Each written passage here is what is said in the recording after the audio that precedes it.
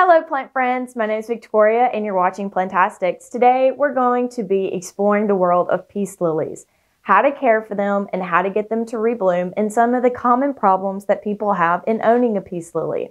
So first off, there are many different varieties of peace lilies. This one is a platinum um, peace lily and it just has, it looks like silver or lighter colored lines on the leaves. And this has green flowers instead of the white. Then you've got your typical ones that you're going to be able to find in grocery stores that have dark green leaves and the white flowers, and they can come in like big, medium, and small. And I'm sure they have specific names, but that's pretty much how I refer to them. I have an incredibly large one that I recently repotted.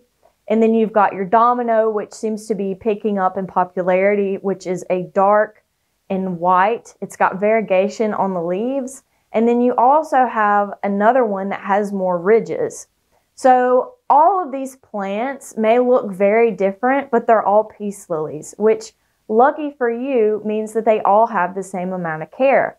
So I'm going to talk about water, light, and fertilizing.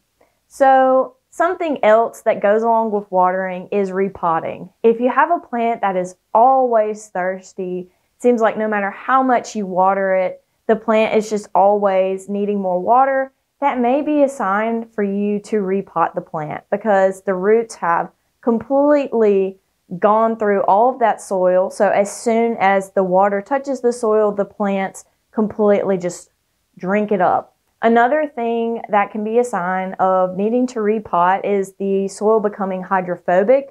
And that's going to look like when you go to pour the water, you are going to have balls of water because the soil isn't able to absorb the water anymore.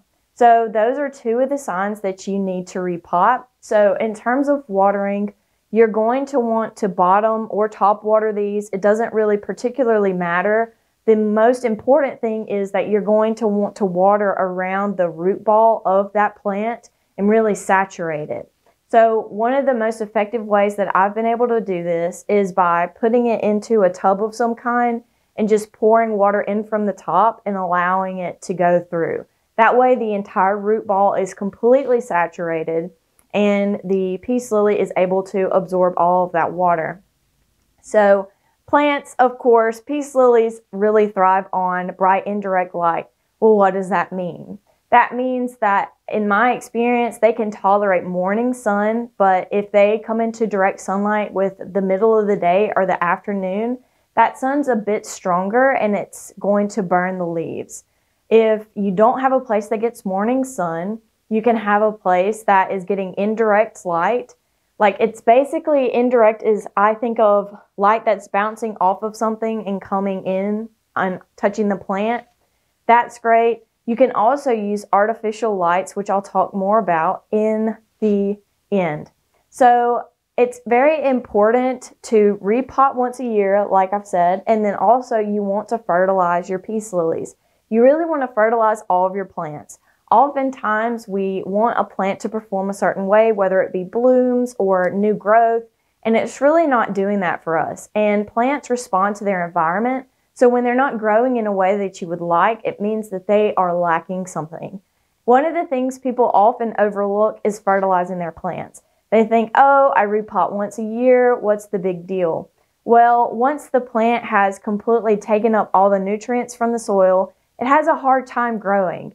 So, fertilizing is a really great way to supplement their needs. You can also use different mineral supplements, like I use Super Thrive.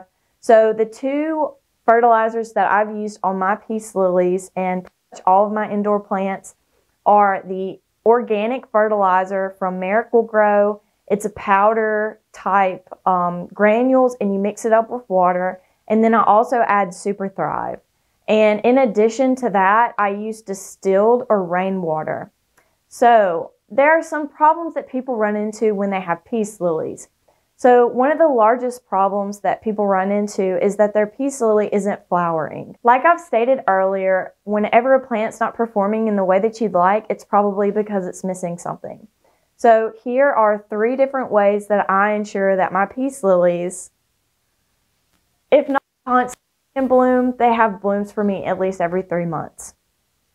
And blooms are really just like a kind of like a thing that happens when you care for them and you provide them everything that they need. So, one of the things that I highly recommend are the GE bloom bulbs. GE makes two different bulbs and they have growth and then they have blooming. All of the bulbs in my house are the blooming ones because I think it's so cool when alocasias bloom or really any of my plants bloom. I mean, heck, I've even got Spanish moss blooming behind me. So I use those bulbs. I actually have one right above me here that you can't see, it's out of the frame.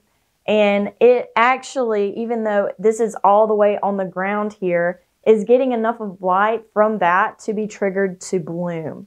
So in addition to having grow bulbs that are going to be promoting blooming, I also use a fertilizer that promotes blooms as well.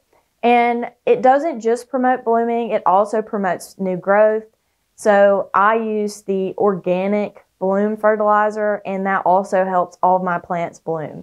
You can use it on air plants, like I have behind me here, like my Spanish moss is blooming. You can use it, you know, on peace lilies. You can really use it on any and everything. I've used it on my cacti, and I've had them blooming too. Um, so you can change your lighting. You can make sure that you're fertilizing.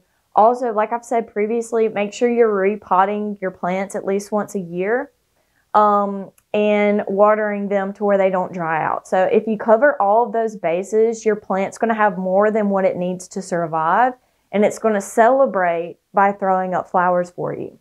Something else that people have whenever they have peace lilies is brown tips. So, plants really, you know, we sweat, animals like birds and dogs, they pant. Well, plants, they do something called, they get rid of extra water through a process called transpiration. And through transpiration, they're basically releasing water. So, some of the times when you're using heavy or hard water or soft water, there are different minerals that build up in the leaves. And what will happen is those minerals will build up and they won't be able to be released with the rest of the water, and that's what causes brown tips. Um, and what I did to get rid of that is basically I just started using distilled water and rainwater. If you're not able to do that, brown tips are really something that aren't detrimental. They're just not attractive to look at. So if you don't want to make the switch to carrying around distilled water every time you come home from the grocery. No worry, you can just snip these off and it'll be fine. Something else that people really worry about with peace lilies is when they start dropping leaves. So plants normally are going to replace leaves. It's kind of like the hairs on our head. So you lose hair all of the time, but your body's constantly making new hairs so you don't go bald. Well, with peace lilies, I think as long as the older leaves, see how it's kind of coming from the center. We've got all this new growth coming from the center. If you're just having leaves being dropped from the outer portion, basically the older leaves, that's not a bad sign, especially if you have new leaves coming in to replace it. However, if all of your leaves start turning yellow, that can be a sign that you have root rot or that you've been overwatering which is kind of hard to do with these. I've honestly never done that, and I've had family and friends that are constantly dumping water in there. But one of the biggest ways to tell if you have root rot is you're going to notice a smell because the soil is literally rotting.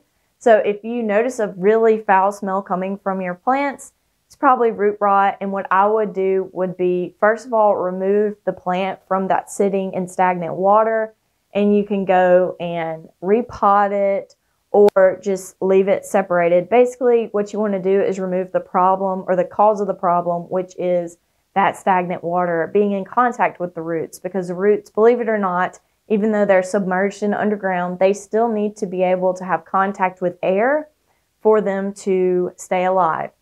So I hope that this video is able to help you figure out what your peace lily needs and if you've got some interesting varieties, comment your favorite one below.